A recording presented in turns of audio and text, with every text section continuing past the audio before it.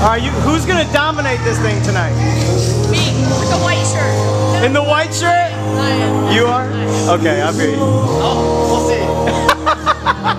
I like when he's not that confident. He's like, I don't know, maybe.